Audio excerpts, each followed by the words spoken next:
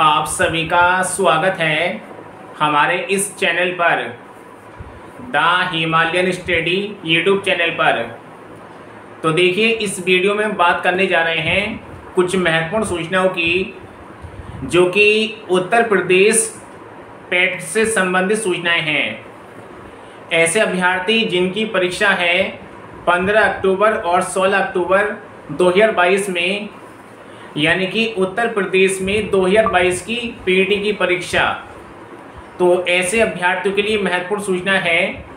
पहली सूचना आप जानते हैं कि 1 अक्टूबर 2022 से पैट के एडमिट कार्ड आपके डाउनलोड होने शुरू हो गए हैं।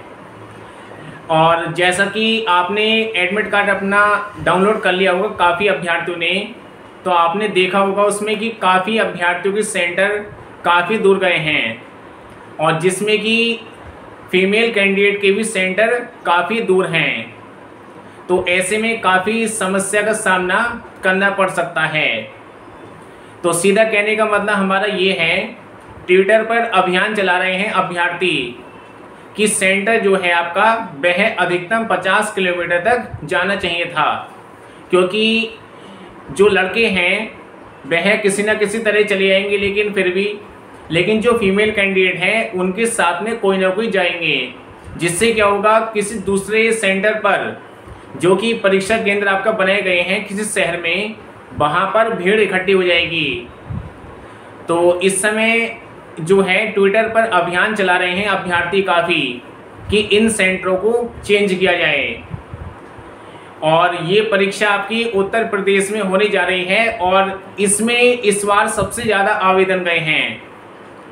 जो पिछले साल आपकी पेट की परीक्षा हुई थी, उसमें जो आवेदन मांगे गए थे, उसमें लगभग ऐसे मानी चले कि 21-22 लाख अभ्यर्थियों ने आवेदन किया था। लेकिन इस बार जो आंकड़ा है, उनतालीस लाख के आसपास अभ्यर्थियों ने आवेदन किया है।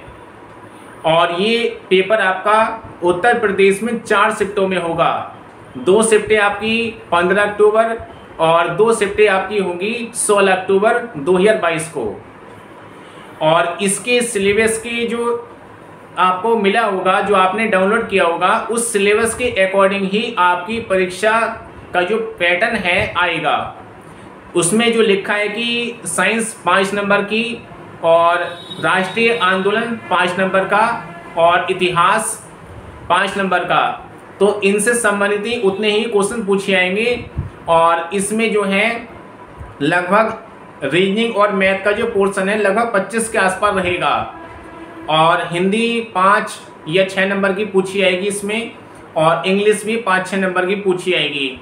मतलब कहने का मतलब हमारा ये है कि पूरा जो आपका पेपर जो बना होगा, वह पूरा सिलेबस के अकॉर्डिंग तैयार किया गया होगा।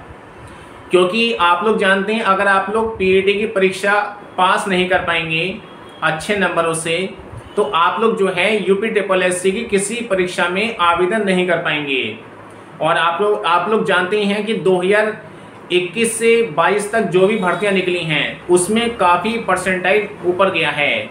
इसलिए आपको कोशिश ये करनी है कि आपके जो क्वेश्चन हैं, वह परीक्षा में गलत ना हो ज़्यादा। यानी कि जो आपका रेशियो है ठीक होने का, वह ज़्यादा होगा तो आपका परसेंटाइज ज़्यादा आपको मिलेगा। लगभग ये मानी चलिए कि आने वाली जो परीक्षाएँ होंगी, जो फार्म निकलेंगे यूपी डबल एस से, उसमें 90 प्लस मान के चलिए आप लोग, कि आपकी 90 प्लस परसेंटाइल आपका होना चाहिए। तभी आप लोग जो हैं, आवेदन कर पाएँगे। और जो भी आपको बता दें कि जो भी आपके पेट के सिलेबस में दे रखे हैं टॉपिक, उनके प्रीवियस क्वेश्चन लगा लीजिए, किसी भी बुक से आप लोग, उसी टॉपिक के, जैसे दे रखा है सिंधु घाटी सभ्यता।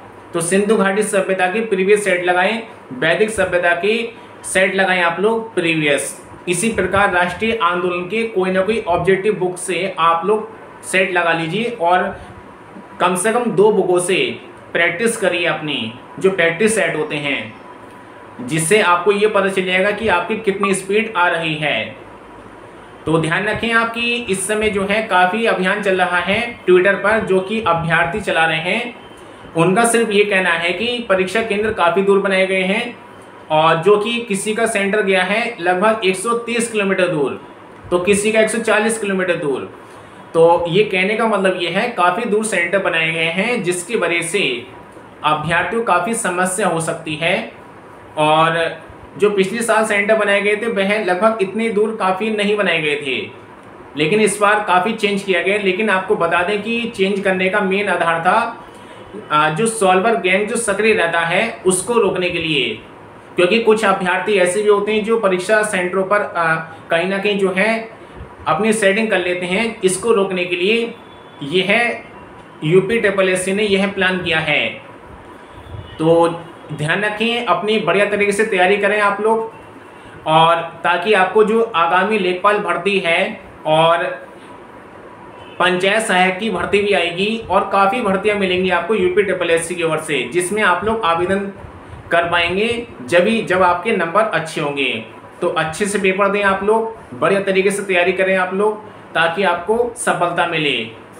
तो इसी प्रकार की वीडियो देखते रहिए हमारे इस चैनल के माध्यम से, और वीडियो को लाइक करना ना भूलें, और जो लोग नए हों, वह सब्सक्राइब करना ना भूलें वीडियो को। पूरा वीडियो सुनने के लिए धन्यवाद।